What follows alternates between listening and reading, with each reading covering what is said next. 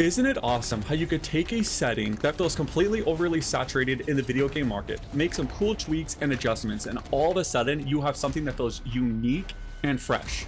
As I'm sure many of you have seen a ton of first-person World War games. Let's face it, it's one of the most popular settings for video games. However, imagine this, a game set in an alternate reality that's based more on World War I instead of World War II. It's third person, single player, story driven, and has more of an experience that resembles a horror game with a supernatural twist. Trench Tales, a story driven third person action game set in a dark alternate world between World War I and World War II. Harness unique powers, customize your arsenal, and navigate haunting gothic landscapes. Battle fallen soldiers as you uncover the mysteries of this realm. We play as a lone wanderer, entangled in the conflict of two brothers fighting over the throne. The story will offer a rich experience, stunning scenery, and thrilling action, providing you with an immersive adventure. Okay, so what's very interesting is one of the major factors that actually really did kick off the First World War was the assassination of Archduke Franz Ferdinand. And I'm sorry, I most likely completely butchered that name. The heir to the Austro-Hungarian throne. So I'm wondering if this game will sort of kind of play off actual historical events and obviously put on an otherworldly twist on things. Either way, a fight over the throne usually results in a ton of bloodshed and horror for everyone involved, whether it's reality or a fictional setting. Bound by destiny to a world not your own, you find yourself entangled in a struggle that threatens to consume everything it touches. As the monarch's legacy teeters on the brink of collapse, you navigate treacherous landscapes haunted by the echoes of battle, seeking a way back to the reality you once knew. Yet in your quest for escape, you uncover secrets buried deep within the fabric of Verdun. Secrets that may hold the key to your salvation or plug you further into the abyss. So this explains why we're a lone wanderer in this world, completely isolated, facing threats from all sides of the war. We're not even really part of this reality. We have no allies to turn to, which further expands the horror element of the game. We can uncover the lore and secrets of this world through various elements, including the aesthetics of the game, after all, scenery and atmosphere is a great storyteller, notes and items that are scattered throughout the land. In addition to the main story, we could expect to see side missions that further expand the world and story of the game.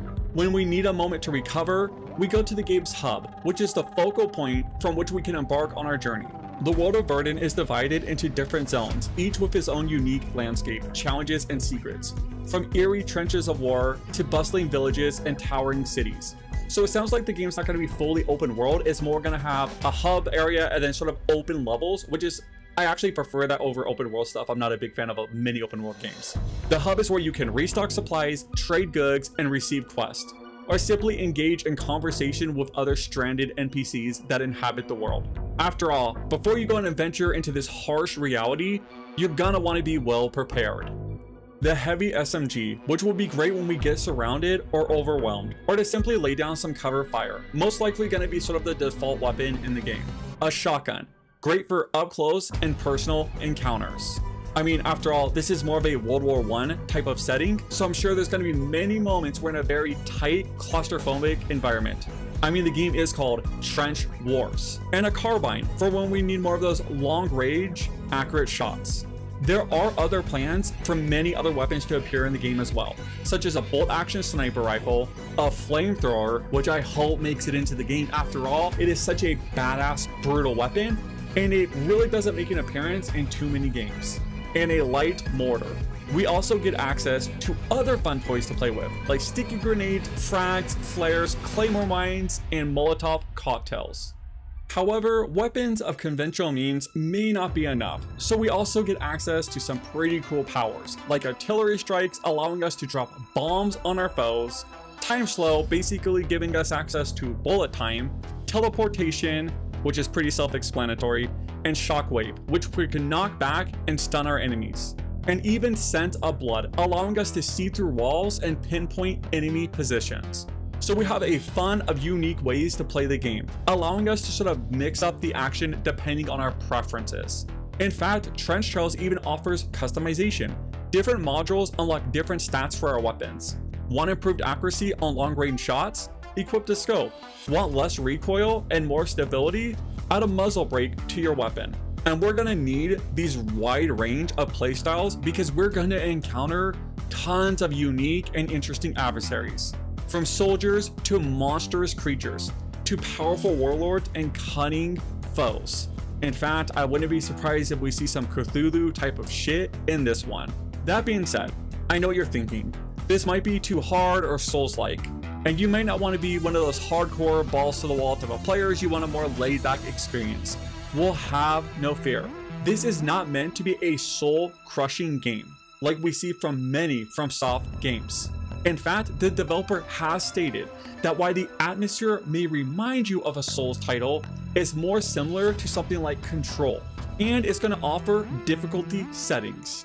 Speaking of the developer, this game is being made by one guy. That is right, this is a single developer project, and it's been said to be a labor of love and just made from pure passion. It's a testament of years of experience. After all, this individual has worked on such titles as Prey, Black Ops 3, Rise of the Tomb Raider, Path of Exile, and many more. So obviously, this guy has some extreme talent and now has a chance to use that talent to make a passion project, which is something I like to see. After all, I think one of the key factors missing in many of these AAA modern releases is passion. It just feels like the missing piece. But I would love to hear what you all think. Let me know your thoughts about Trench Wars in the comments down below. By the way, if you made it this far and did enjoy the video, let me know by dropping a like. And if you are new, please consider subscribing. As for me, I got a ton of work to do, so I'm going to get back to the grind and I'll catch you in the next one. Peace.